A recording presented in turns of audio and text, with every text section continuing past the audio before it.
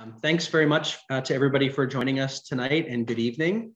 Um, welcome to this evening's webinar program focused on NRCM's top priorities in the Maine state legislature and beyond in 2022. We would have loved to have been with you in person for this program, of course, uh, but we appreciate that you've adapted and joined us here online instead for this program.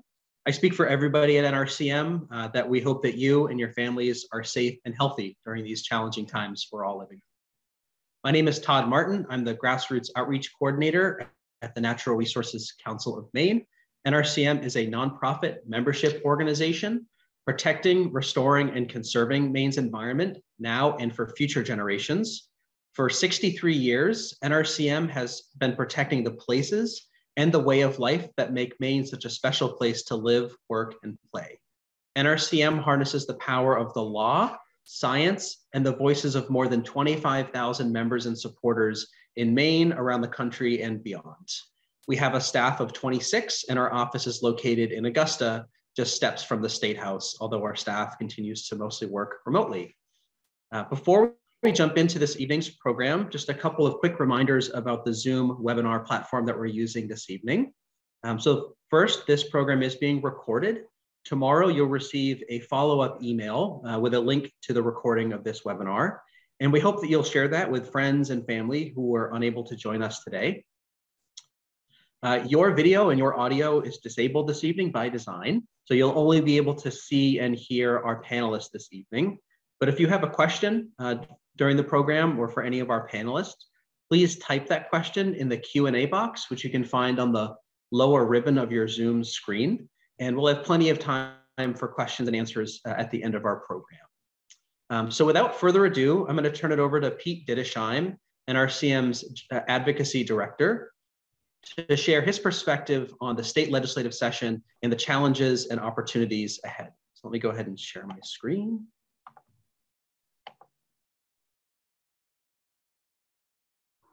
Okay, so let me also welcome all of you um, and thank you for being part of this webinar. And I look at the list of people who have uh, signed on and it includes former staff, current and former board members, and some wonderful activists from around the state who have really made a huge difference in helping protect uh, Maine. So thank you for being engaged. Thank you for your interest in what happens at the State House. Um, without your help, we would not have accomplished nearly as much as we have in recent years. Um, Todd, why don't you go to the next slide? So this is the view from my window. I'm looking out at the Capitol right now. It's got its lights on. This is an exciting part of the year where the legislative session has just begun and there's a lot of possibility and determination uh, to contribute to our legacy of protecting Maine's environment. As you know, this is the second session of the 130th legislature. It began last week and um, I like looking over the State House. It gives me a pretty good view. Um, and NRCM spends a lot of time under the dome. Um, we'll be doing that mostly virtual, virtual again this session um, but we do play a significant role throughout the, the uh, legislative process, trying to, to pass good laws, and we're going to be discussing some of those opportunities today. But let me just start the next slide by um, flagging that um, a big part of 2022 is going to be focused on implementation of the legislation that we passed last year. Last year was a banner year probably the most successful year for environmental legislation in my 25 years working as NRCM's advocacy director. I said this in 2019, and that was a really big year, but last year we passed more than two dozen bills, and those deal with uh, extended producer responsibility for packaging, um, Land for Maine's Future, federal funding for water projects and state parks and energy efficiency, a bunch of bills dealing with the climate action plan, um, toxics. Um, there's a lot of implementation work that needs to happen this year by state agencies. And it's important to just acknowledge that a lot of what is important in our world is includes passing bills and then making sure that they're implemented well. So that's an important thing to keep in mind. Next slide. So this is the emergency session. Lawmakers have about 350 bills that they're going to be working on over the next three to three and a half months. Next slide. And let me just touch on some of the challenges in this upcoming session. The pandemic is clearly causing additional disruptions. All public hearings will be conducted via Zoom uh, as they were last year. There's uncertainty about how many in-person sessions there'll be of the, of the House and Senate and when they'll start. There's one more this month on the 26th.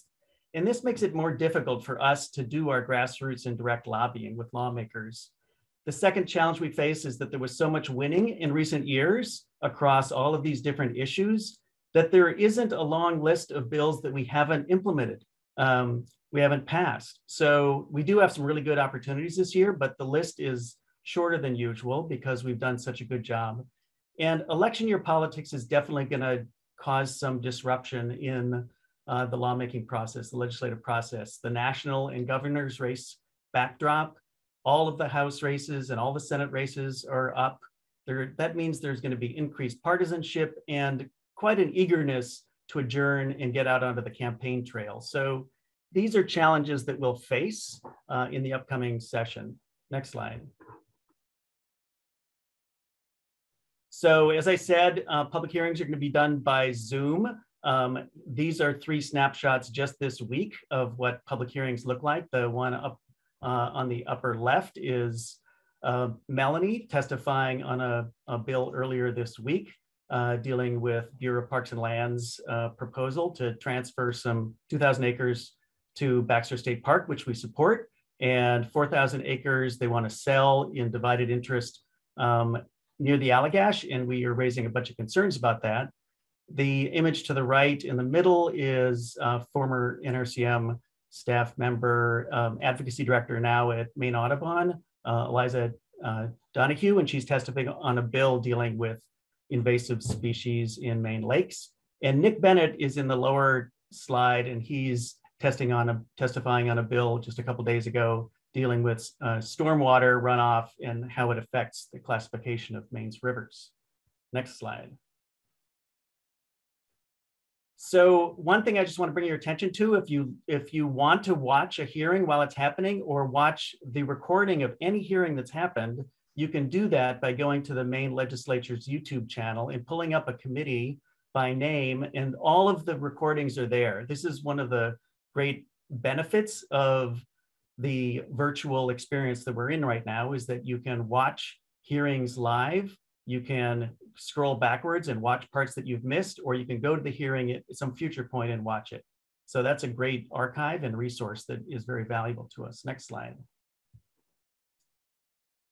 And I just want to say that from our perspective, the most important part of our work is to building relationships, relationships with all of you, also relationships with the legislators who are citizen lawmakers. They're not doing it for the money. It's really hard work. And we do um, respect and value all the relationships that we develop with legislators.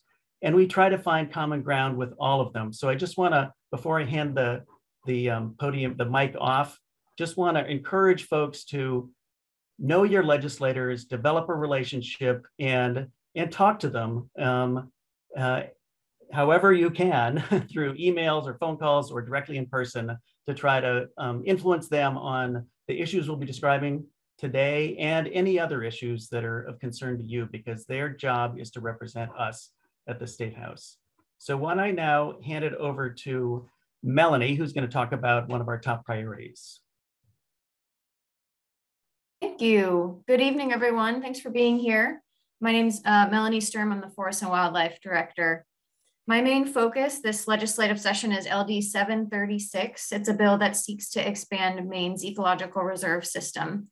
Uh, Maine's ecological reserve system was created by law in 2000 with the purposes of conserving wildlife habitat, providing educational and research opportunities, and serving as benchmarks for environmental and biological change on the landscape. And actually, NRCM had a big role to play in getting that original law passed.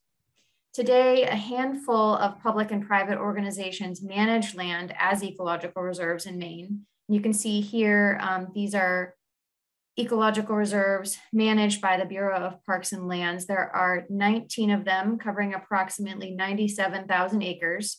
And while these parcels are small, um, combined, they cover less than 1% of the state's landmass. They are habitat strongholds in a matrix of forests and lands managed for other purposes that help safeguard Maine's biodiversity. Next slide. Todd, you can flip through the next six slides um, at your leisure. These photos are of ecological res reserves that you may recognize. Um, eco reserves are important for multiple reasons. Uh, as I was just mentioning, they protect biodiversity in the face of accelerating species loss and help mitigate climate change. And in fact, they sequester 30% more above ground carbon on average than other lands. Ecological reserves also offer premier outdoor recreation opportunities, plus they help improve our scientific understanding of the natural world. The ecological reserve system was actually designed to be a network of public and private lands that maintain an effective example of the full range of habitat types found in Maine. This theme of saving all the pieces I'll bring up later. Um, ecological reserves are diverse, as you can see, but they are mostly located in northern Maine, the Western Mountains, and down east. And a recent report from the state of Maine found that currently none of the seven ecoregions in the state has adequate representation of all habitat types within, the within ecological reserves or similarly managed lands. And while there are conservation lands in southern Maine, habitats in the southern region of the state are drastically underrepresented in the ecological reserve system, leaving many species vulnerable. So if the ecological reserve system were to be expanded as we're aiming for, new reserves in southern Maine would actually mean increased outdoor access in that part of the state where much of the population lives. Uh, you can stay on this slide, Todd, because I'm going to talk about um, the bill we're working on this session, LD 736, which is sponsored by Representative Nicole Grohoski of Ellsworth, um, it would improve the existing law and allow for the expansion of the ecological reserve system. The current law caps the size of the system at 100,000 acres and sets other arbitrary size limits. And there are significant gaps that remain in protecting Maine's habitat types. LD 736 would adjust the statutory size cap and ensure existing ecological reserves remain in place. And it's imperative this change to the law happen now. Uh, lots of progress has been made in the past 21 years to build out the ecological reserve system. As you saw, 97,000 acres of public lands are managed by BPL and are now protected as reserves. But work still needs to be done to achieve protection for effective examples of all habitat types. Um, ecological reserves can help Maine reach its climate goals. We have a 30 by 30 goal here in Maine that's in the climate action plan. And um, these reserves can also curb the decline of native species um, that is a global, that is a problem that's happening globally and touching down here in Maine. Next slide. When talking about the eco reserve system, Aldo Leopold often comes up. He wrote, quote, to keep every cog and wheel is the first precaution of intelligent tinkering. Mainers had that same idea when they helped create the ecological reserve system to maintain an effective example of all the habitat types or to save all the pieces like I've been talking about. And with the theme of saving all the pieces, NRCM commissioned a set of illustrations to showcase the unique natural features that can be found on some of the 19 ecological reserved. And Zoe Keller look her up, um, is a Portland-based artist who did these seven illustrations for us. And in the drawings, you can see common species like moose, red squirrel, bald eagle, as well as rare ones like Bicknell's thrust, thrush, excuse me, beaked sedge, Quebec emerald dragonfly, and alpine blueberry. And you'll also see species that are unique to Maine, like Arctic char, and others that are just a joy to come across, like blue flag iris, uh, old growth trees, and yellow banded bumblebee. Um, these species are some of many that are protected by eco-reserves. And because of the compounding threats to our environment, we need more of these. Thank you for listening. I'd be glad to answer any questions you have about ecological reserves or LD 736 later on.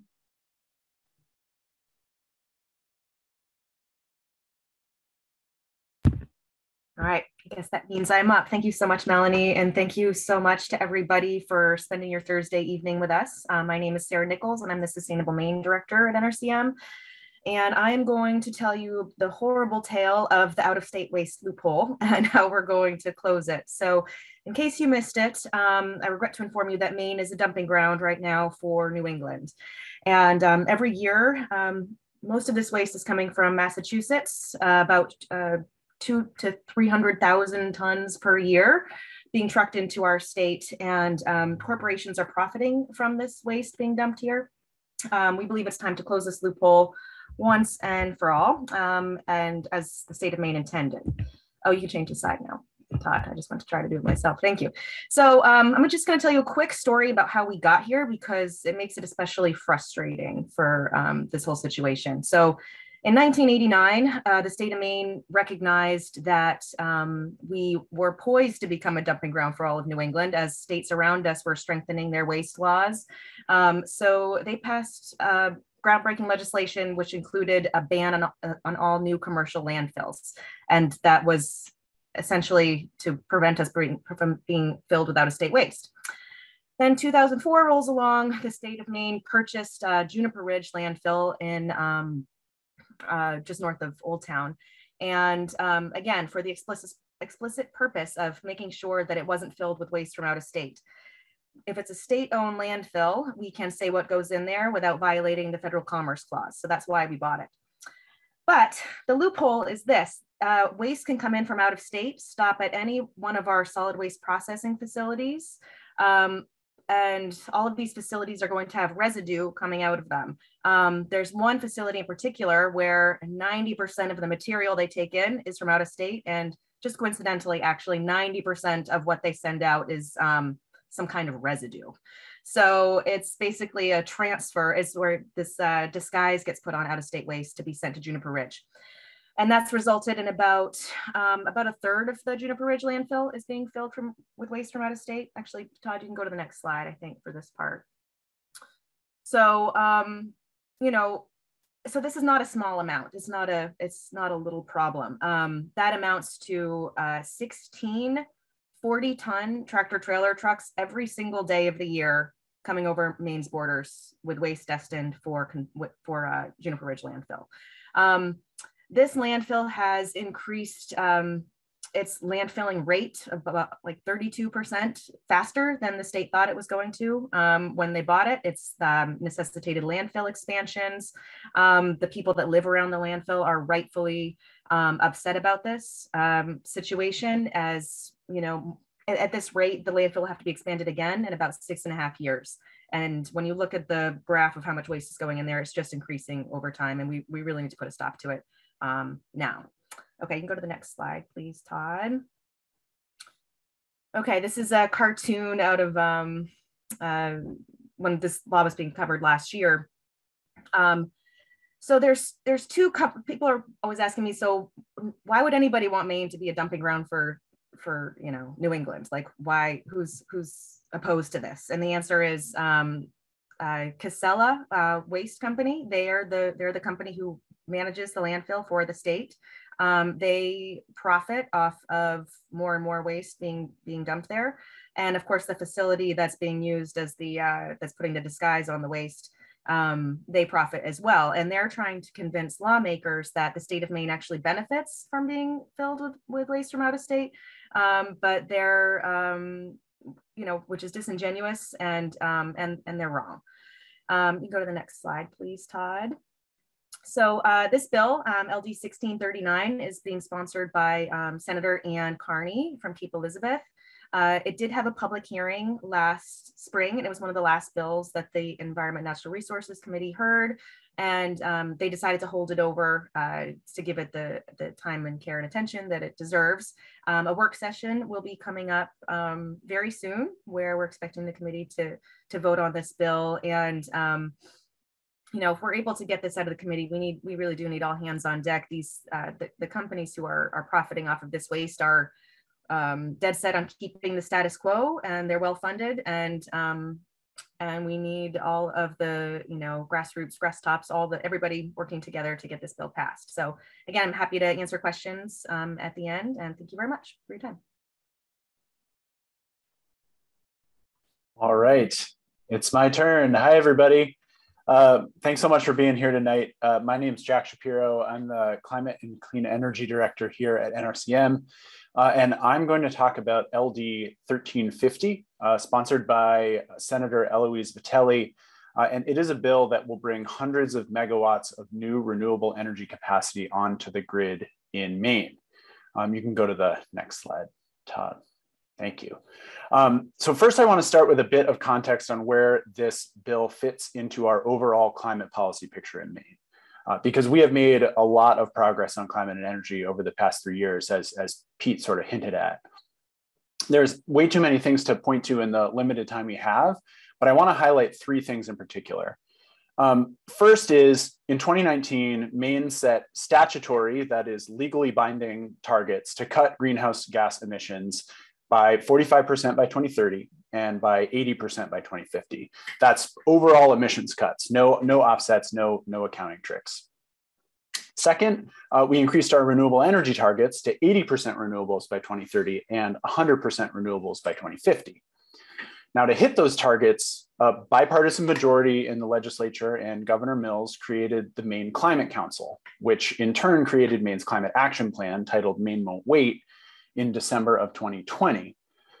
Now, this is a ambitious, it's a wide-ranging plan. It includes ways that will start to tackle eliminating dirty fossil fuels and pollution from our electric grid, but also uh, how we might clean up uh, other large sources like our cars and trucks and how we heat our buildings and um, a bunch of other sources of greenhouse gas uh, pollution as well. LD 1350 will task the Maine Public Utilities Commission, the PUC, uh, with procuring a new round of renewable energy projects uh, to help meet uh, these goals. Uh, next slide, Todd. All right, so because of the policies I just talked about and, and other policies that we passed, thanks to our work at NRCM, our work of our partners, and, and the work of NRCM members and supporters, we have been really successful in fostering a booming solar industry here in Maine. Um, this chart shows uh, the rapid growth we've seen in solar. Um, and you can see installed solar basically quadrupled in just the past few years. Next slide. But we are going to need more solar to hit our targets, more solar and other renewable energy. So this chart is um, a little bit of a, a wonkier one, but it it's from the governor's energy office earlier this year from a, a report that they did. And the blue area on this chart shows the gap that we still need to fill uh, to be able to meet our renewable energy and climate goals. And LD 1350 uh, is a big uh, way that we are going to fill that gap. Uh, next slide. So hitting our goals, obviously that's important, but we also need to remember why we have all of these goals in the first place. Uh, what are the specific benefits of, of new renewables uh, and of LD, 13, LD 1350 in particular? So first, uh, new renewables, it, it grows our supply of affordable, stable, and reliable clean energy. Fossil fuels are subject to supply shortages. They are uh, prices influenced by global market swings that we, we have no control over. Um, and we can see what, what, uh, what results from that just by looking at what's happening with heating prices this winter. Renewables, on the other hand, don't rely on fuels at all. Uh, and they help keep prices stable uh, for Maine families, particularly important for, for seniors uh, and, and for, for low income Maine people. Uh, next is that the process that LD 1350 lays out is a competitive bid process run by the PUC, and it's worked over and over in the past few years to bring more low cost wind and solar onto the grid in Maine. Um, with this bill in particular, we're also working with uh, partners uh, on an amendment to have this PUC consider project siting attributes that minimize impacts to our natural resources, ecosystems, wildlife, and farmland uh, as part of the selection process, which is a, which is a big opportunity that we have in this, uh, in this session. Okay, second big thing, it's, it's no secret anymore that switching to a clean energy economy is a, is a big economic win. Uh, renewable projects can be hugely beneficial for local communities. The last big renewable procurements uh, that the PUC held, for example, are estimated to bring nearly $9 million a year in tax revenues for host communities. Um, that's money that will fund schools, water and sewer systems, fill potholes, and meet other crucial infrastructure needs uh, in those communities. And making the transition to clean energy is also going to be a lot of work, and that means jobs um, uh, for Maine people. So this bill ensures that we continue to grow our clean energy workforce, um, which builds on the already um, progress we've already made. You know, more than 11,000 Mainers already uh, work in the in the clean, en clean energy industry. Um, and, and then last part here is that new renewable projects in Maine also help cut down on the literally billions of dollars that flow out of our state every year to buy fossil fuel energy. Um, and that's money that um, would be much better uh, circulating here in, in Maine. The third big thing, of course, is climate change. Uh, it's no secret that climate change is here. Um, just yesterday, we saw news that the waters in the Gulf of Maine broke heat records again this fall. Um, we're seeing local ski areas having to rely on snowmaking, where once they could count on natural snowfall, more extreme rains uh, bring more flooding and damage to our infrastructure. Uh, plant and animal species are, are uh, forced north with rising temperatures. Um, the bottom line is we have to act now. And expanding clean energy really is the backbone of Maine's plan to act on climate. Uh, not only does it cut greenhouse gas pollution immediately, uh, but clean energy also enables us to electrify and decarbonize our, our cars and trucks, how we heat our homes and businesses, um, and, and push uh, polluting fossil fuels out of, of our economy. So uh, re new renewables, really, it's the critical path to meeting our climate goals and avoiding some of the uh, worst impacts of climate change. Um, so I will wrap up with the, the final note that Maine's climate action plan is called Maine won't wait for a reason. Uh, we can't wait and we shouldn't wait to pass LD 1350 to expand Maine's clean energy economy. Um, and with that, I will pass it over to Nick. Um, thanks everyone. Nick, it's all yours. Hi everybody, thanks for joining us tonight. My name is Nick Bennett. I'm the staff scientist and healthy waters director at NRCM. Um, there are two uh, important water related bills that um, we'll be tracking very closely this legislative session. Um, one is a good bill and one is a bad bill. And I'll talk about the bad bill first, because that's just the kind of guy I am. Um, and uh, it is a bill that would block the state of Maine from recommending or promoting dam removals. Um, NRCM has worked now for more than two decades on dam removals and river restoration in the Kennebec River. And um, unfortunately, above Waterville, there are four very large dams that block sea run fish. Um, there's completely uh, inadequate passage for fish to get above those dams. Um, and in particular, this is a big problem for Atlantic salmon.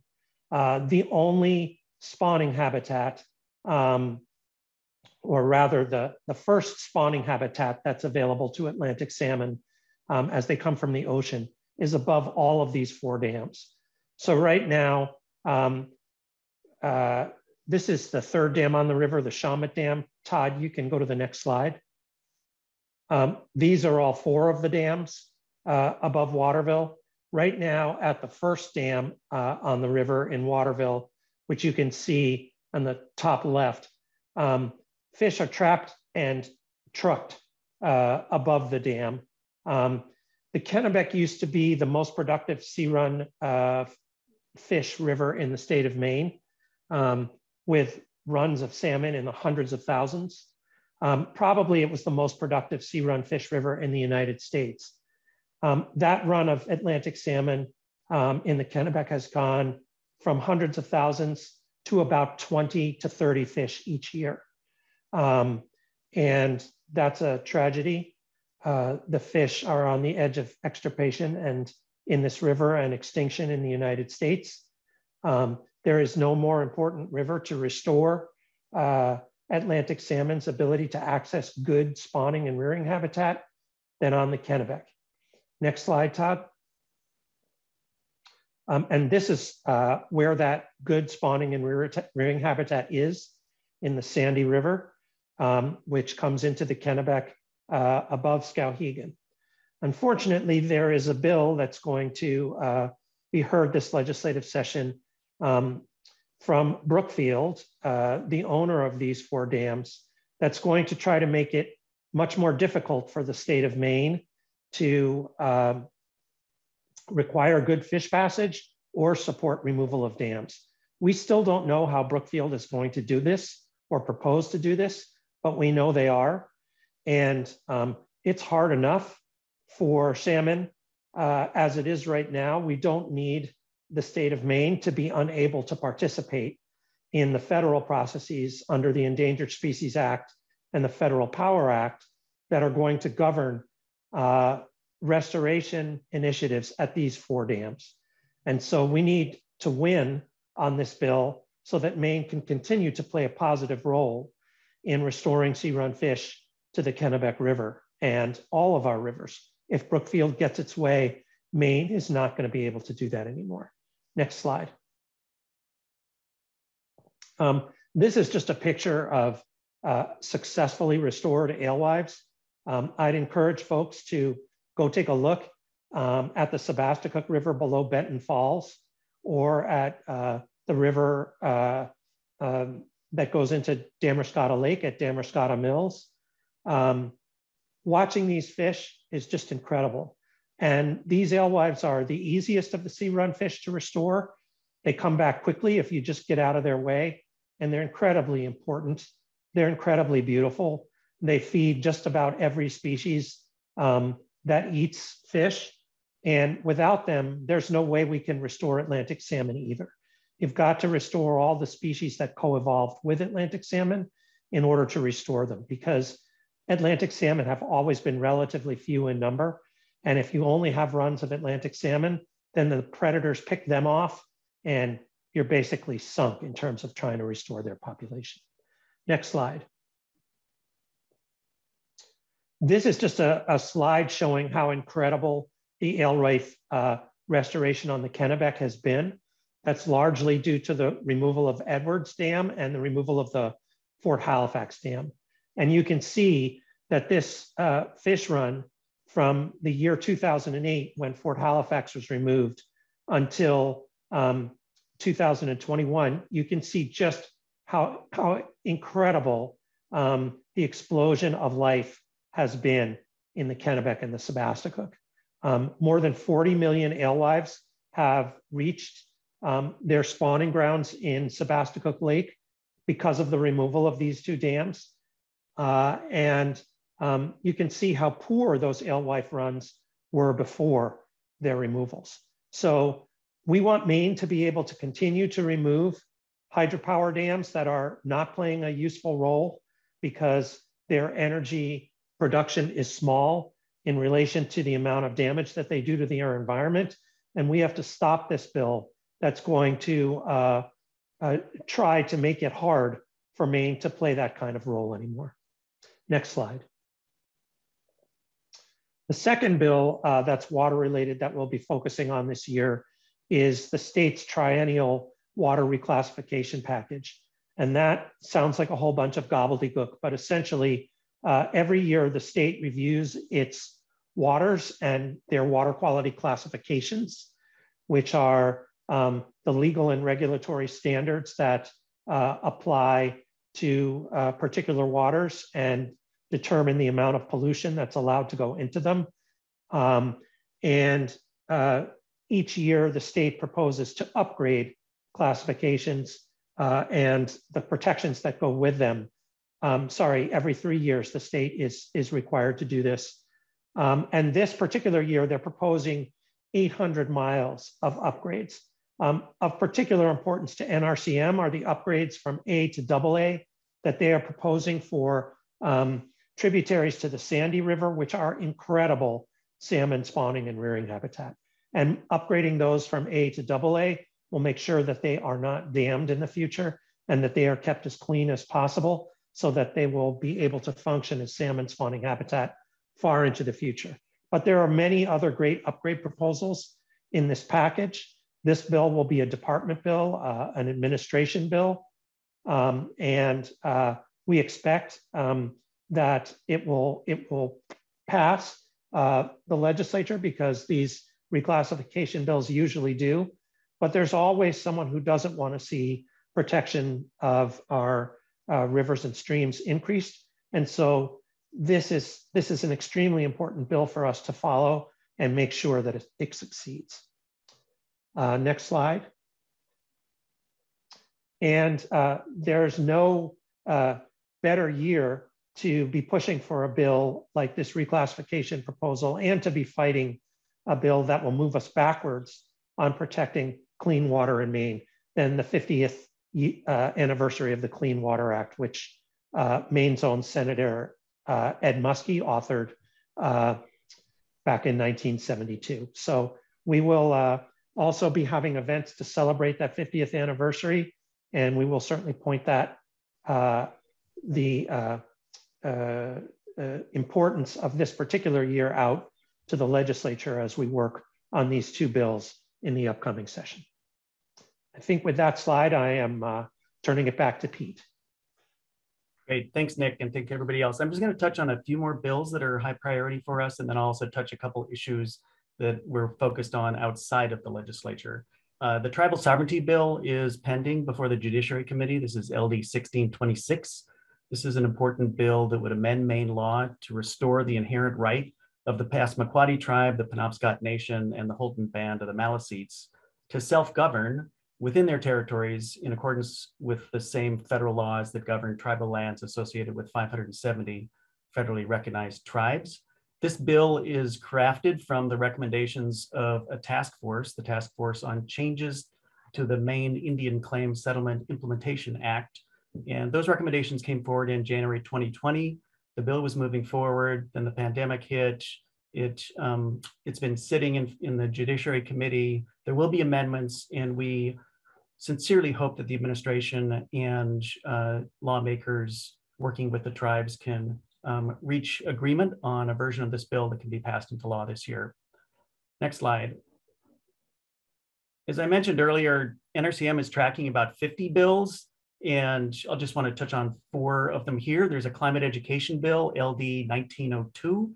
This would create a three-year pilot program to provide grants for professional development for educators on climate science and to support interdisciplinary climate education. We clearly want our um, children of today, our leaders of tomorrow, to have a deep grounding in climate science. The hearing on this bill is going to be on January 25th. There's a bill that um, deals with uh, PFAS. Um, it, it, these are the forever chemicals, LD 1911. This would one of the bills would close a loophole that allows PFAS contaminated commercial composting materials to be spread on farmland. And uh, a hearing on that is coming up um, soon. There's also a bill that would, uh, LD 1579, that as written would establish goals and timetables for the state and municipalities to transition their public fleet vehicles to electric vehicles with a goal of 100% by 2040. That bill likely will be amended, but we'll be following that one closely. There's also the Pine Tree Amendment, which many um, environmental advocates and others are following, LD 489.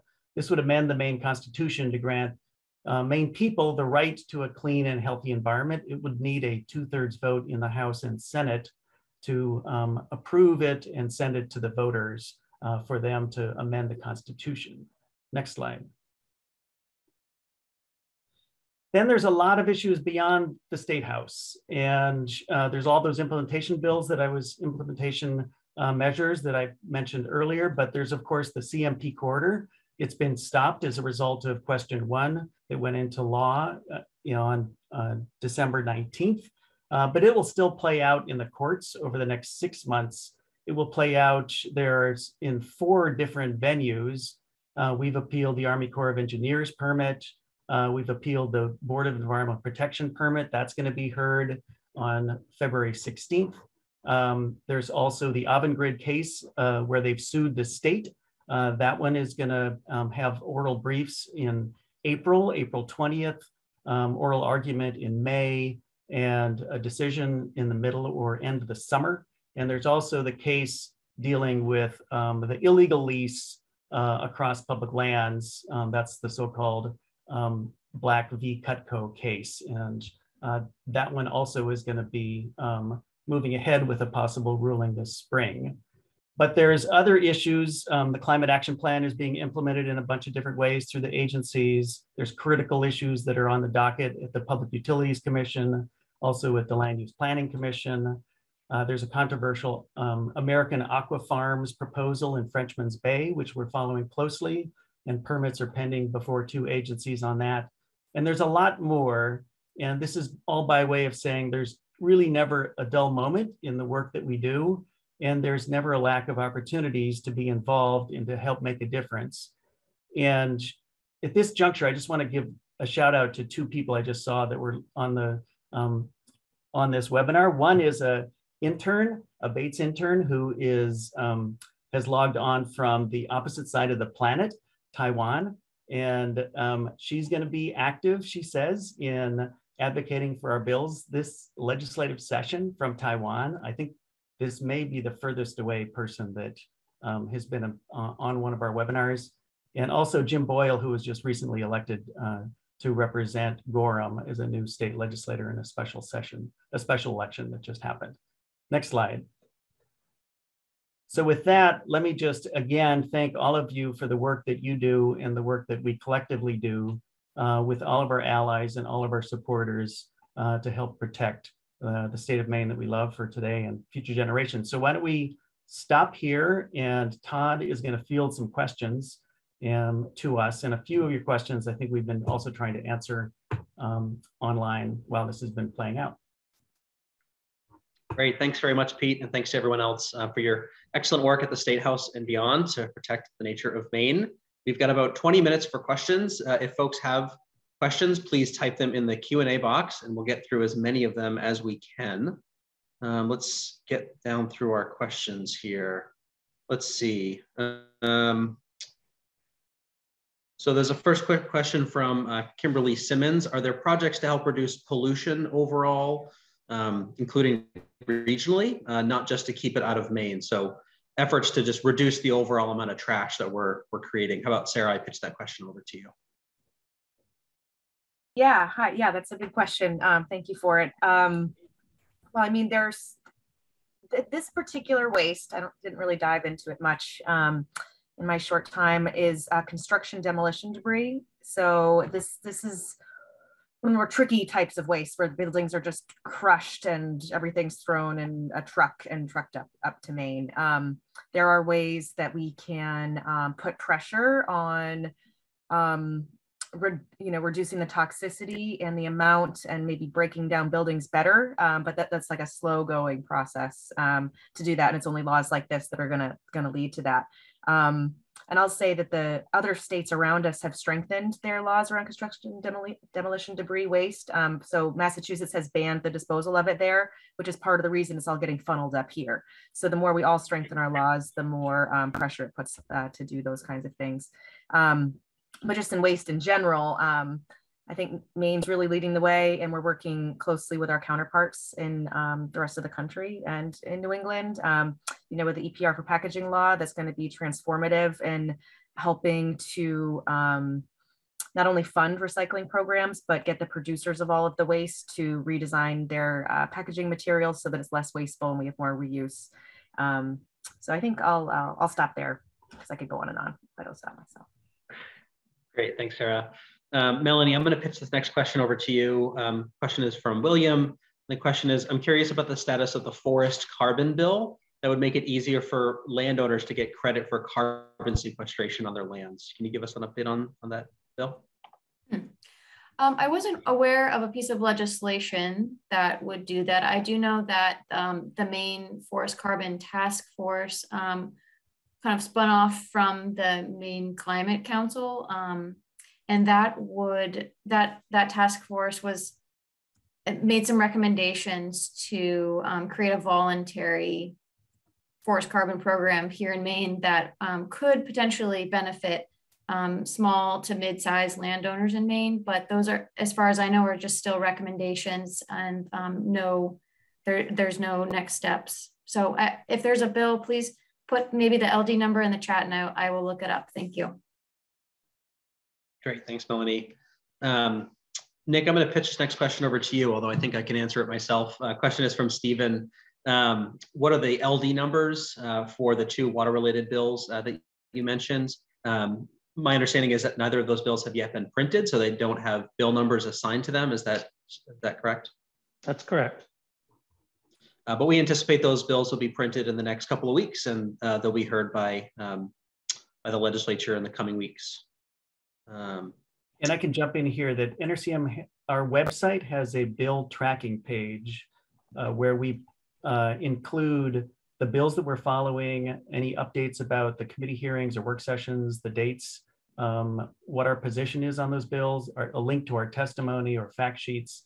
And if you just go into your search engine and just enter NRCM bill tracking, it should take you right to that page. So as soon as those two bills receive a bill number and are printed, they will be uh, they will appear there.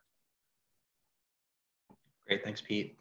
Um, Sarah, there's another question here for you from our friend Vanessa at EcoMaine.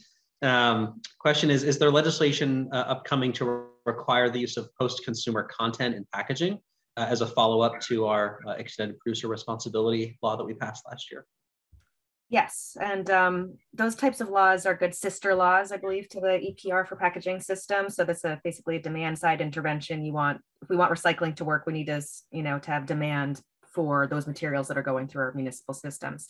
Um, there is one bill, LD 1467, that um, passed through the legislature. We just need to get it off the appropriations table, and that um, would establish a minimum recycled content standard for plastic beverage containers only. Um, but it's 25% by 2026 and 30% by 2031. A few other states have done that. And um, my crystal ball tells me that um, state of Maine and other states are gonna you're gonna start seeing a lot more recycled content um, legislation rolling around. But the tricky part with that is making sure that um, there's um, we need to make sure it's not toxic, basically. Um, so uh, we can do that, but that's just something important to do. Thank you, Vanessa. Thanks, Sarah. Um, Jack, I'm going to pitch this next question over to you. Uh, I see that you already answered it uh, by typing an answer, um, but the question is from uh, Nancy Hassenfuss, who I believe ha has a, a, son that serves in the state legislature. Um, but the question is, um, I understand the goals of LD 1350, uh, but how specifically uh, will we do that? How specifically will we procure new renewable energy in Maine? Yeah, yeah. So the way that it uh, the way that it works is that the legislature uh, directs the Public Utilities Commission, the PUC, um, to conduct a um, uh, conduct a solicitation and then and then select uh, projects from the, the list of, of projects that apply that best meet the criteria that are, that are laid out. Um, and those criteria are also laid out in the bill. Um, many, uh, much of the criteria is about ratepayer benefits. Uh, LD 1350, as it was drafted in the, um, in the first, first session of this session, um, also includes um, a good chunk around economic benefits. We're very interested in, in an amendment that would also include uh, natural resource impacts uh, as some of the siting, uh, as some of the criteria by which the PUC would, would select those projects. But once those projects are selected, the PUC directs the, the utilities to, to contract with those projects to, to buy the power. Um, and they've done this several times uh, in the past few years. Um, with, with really with with great success, bringing uh, some of the costs for for the energy coming in through these projects is just a, a, a few cents per uh, uh, per kilowatt hour. Um, far far below actually what the sort of spot prices are right now on the in the New England power market. So really, it does really have a big impact in helping to insulate Maine uh, ratepayers against uh, some of these wild swings in in fossil fuel prices that we're that we're seeing right now and are responsible for some of the recent rate hikes. Great, thanks. Um, and Jack, I'm going to stick with you for these next for this next question. There's a couple questions here um, about uh, our grid and if it can handle this big influx of renewable energy. Of course, we all support uh, increasing our uh, adoption and use of renewables, uh, but can our grid handle it? Um, you know, how, how are we going to uh, improve Maine's grid uh, for, for our clean energy future?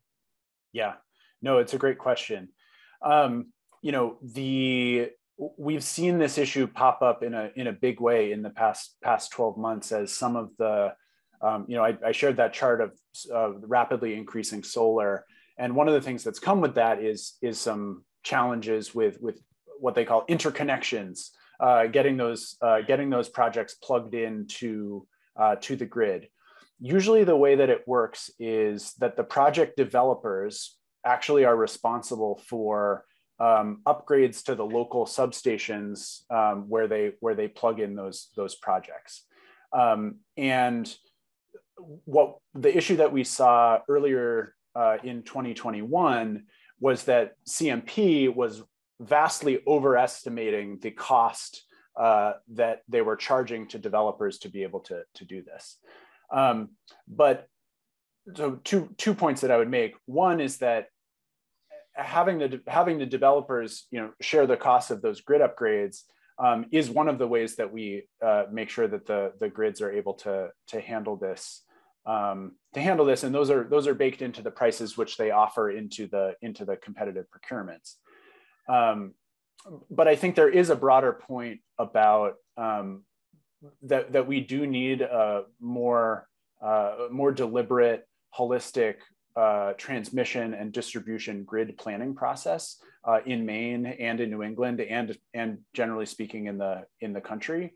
Um, there's some resources that were dedicated to that in the infrastructure bill that was uh, that was passed last year, um, but it's going to take a lot a lot more resources, but also a lot better process um, so that we can um, really think about what is the grid that we want to have that is powered by uh, renewable energy um, that's more distributed um, and, uh, and provides more community benefits um, rather than sort of big, big fossil fuel plants um, pumping out power across uh, uh, one way um, from, from power plant to, to people across the, across the grid. So there's definitely a lot of work to be done there.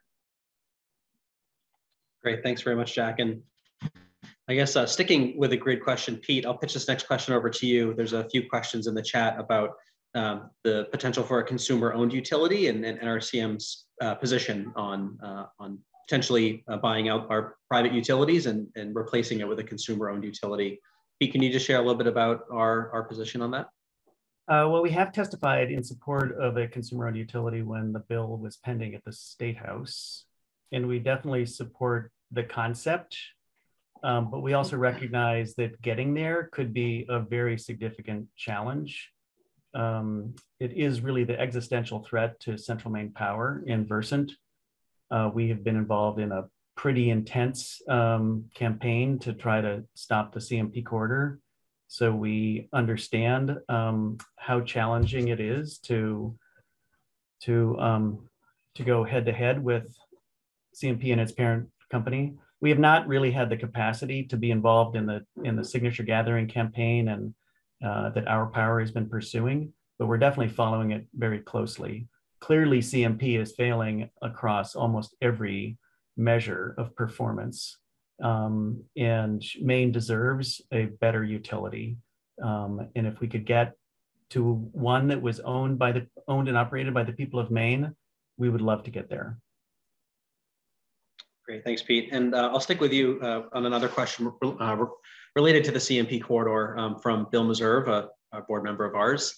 Um, Bill asks, under the federal infrastructure bill, um, the federal government might be over, able to override state regulation of tra transmission line routes. Um, is that a risk for the future of the NECEC?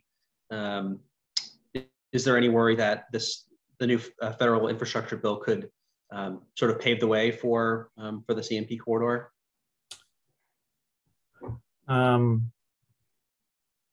I don't know the answer to that. Nick or Jack, have you been following this? I mean, can you ask the question again, Todd?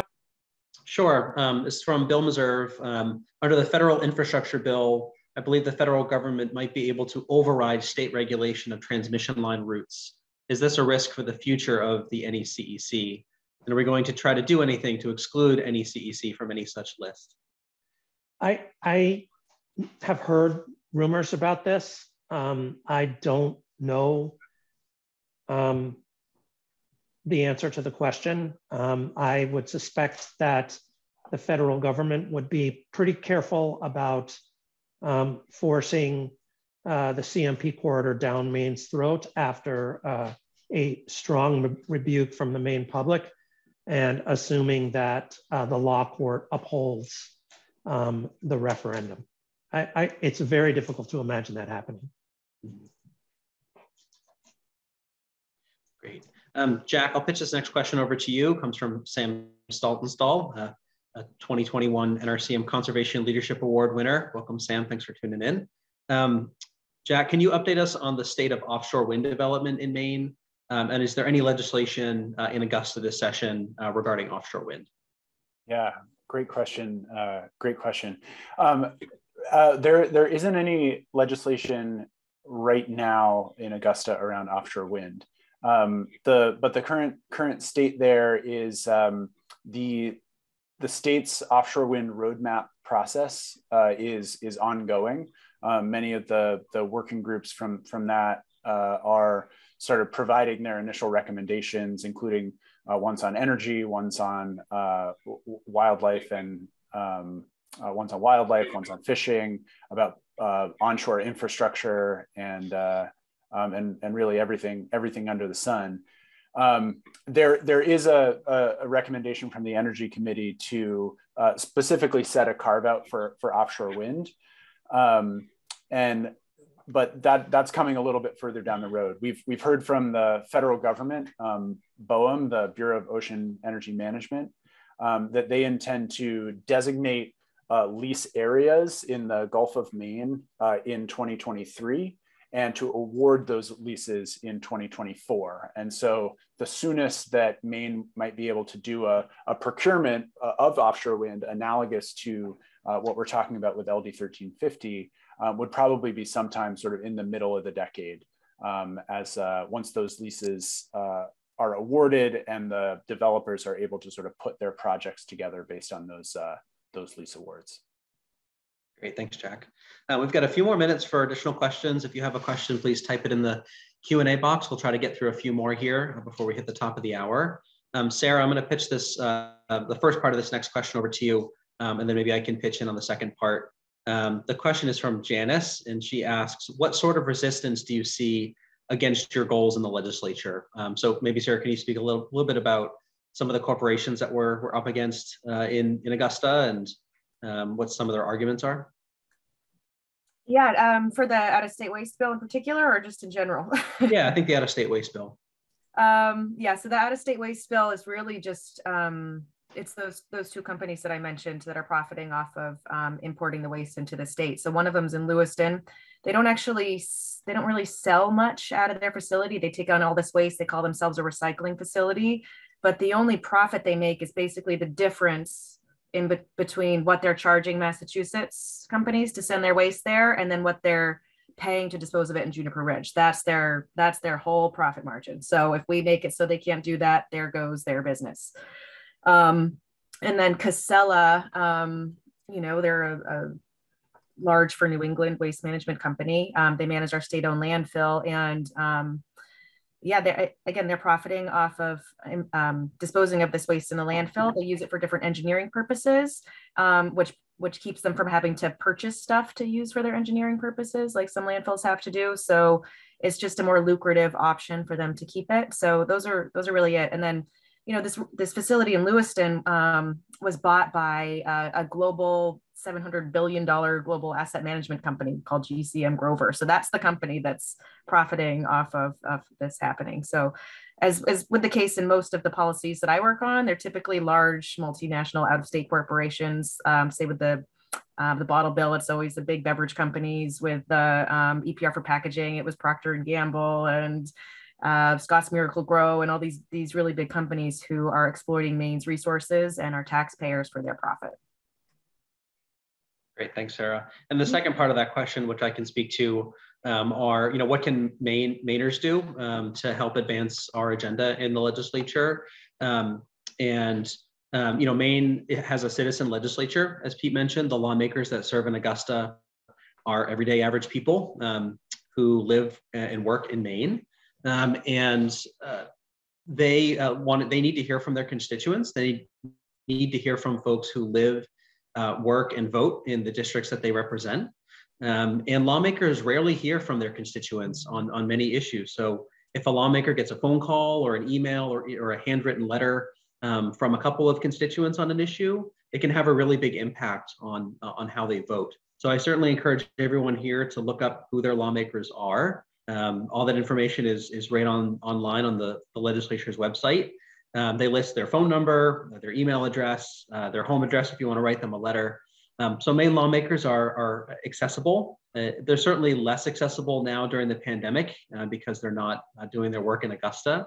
Um, but that's why it's even more important, I think, uh, for lawmakers to hear from folks in their district uh, because they're they're not working in Augusta. They're they're working uh, mostly from home. So encourage everybody here to, to take action this session on on the environmental issues that, that we've covered here this evening. Um, let's see.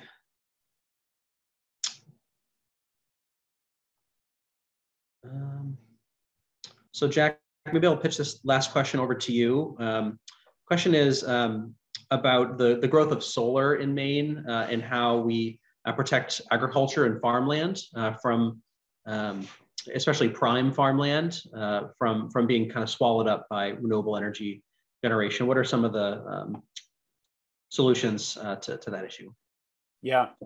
Yeah, so there over the past year, there has been a, a group um, called the Agricultural uh, Solar Working Group, um, snappy name, um, working on on some of this exact this exact problem.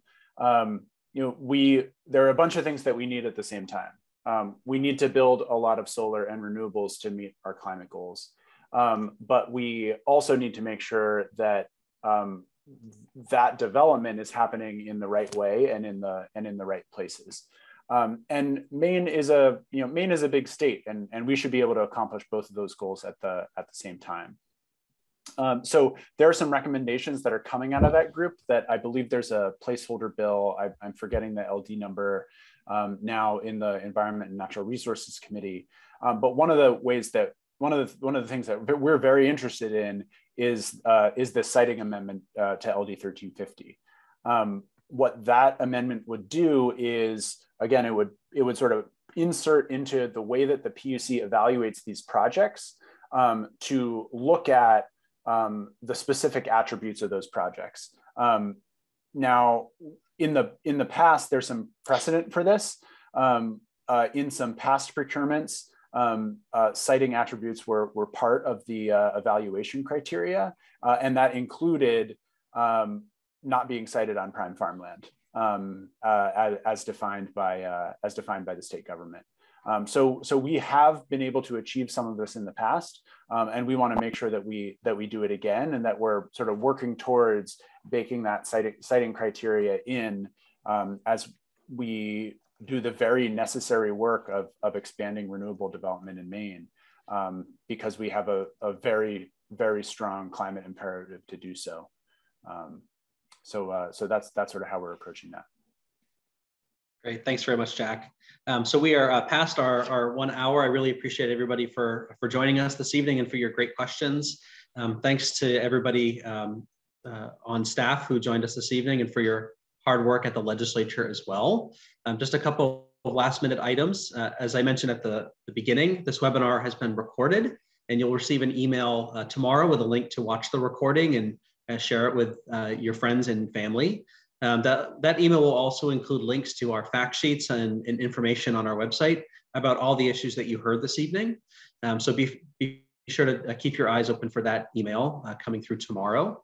And uh, the legislature runs through uh, probably the end of April. Um, so these issues uh, will be uh, on the legislative calendar in the, in the coming weeks. A couple of these issues are already scheduled for public hearings or work sessions. So um, the, the next few weeks and months will be pretty busy and we'll keep you updated on all these important environmental issues. And lastly, as Pete mentioned, our legislative priorities webpage on our website is a great place to uh, learn about these bills, NRCM's position when a public hearing is coming up, a link to our testimony. Um, so certainly check out the legislative tracking page on our website. And the email tomorrow will have a link to that page as well. Um, so thanks again to everyone for joining and uh, we will see you, see you again soon.